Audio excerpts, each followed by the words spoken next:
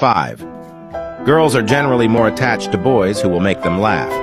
4. If a guy and a girl make eye contact, girls are naturally better at maintaining the eye contact without feeling awkward. 3. Girls are often much better at picking up on lies, but also lie much more often. 2. Only 4% of women consider themselves beautiful. 1. If a girl is quiet during a conversation, she is probably reflecting on what you just said. A woman had a pet snake she loved dearly, so when it stopped eating, she took it to the vet. The vet asked, Has your snake been sleeping beside you at night while snuggling real close?